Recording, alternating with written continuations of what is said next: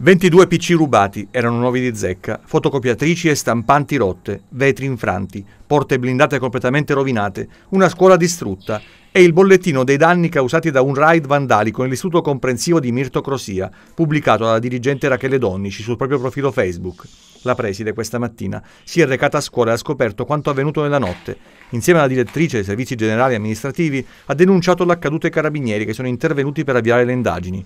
Non si tratta del primo episodio di vandalismo che interessa la scuola di Via del Sole. Già nel settembre scorso l'istituto aveva subito altri atti che avevano portato ad avviare una gara per l'installazione di un sistema di videosorveglianza non ancora operativo a causa dei lavori di adeguamento antisismico previsti per la scuola. Hanno distrutto eh, il, suppelletto, il frigorifero che c'era e, soprattutto hanno anche rotto parte dei PC, parte rubati, parte rotti. È stato rotto anche un impianto wifi, cioè è stato un, un attacco distruttivo, cioè un voler colpire al cuore la scuola. Ho voluto fare questa intervista per dire che la scuola non si ferma, perché la scuola qui nel nostro territorio è un presidio di legalità, è una scuola di eccellenza, è una scuola che andrà avanti. In mattinata abbiamo ripristinato il tutto. Domani mattina sarà pronta la, la wifi. Ci è stata regalata gentilmente una porta, la porta blindata che è stata distrutta, la stanno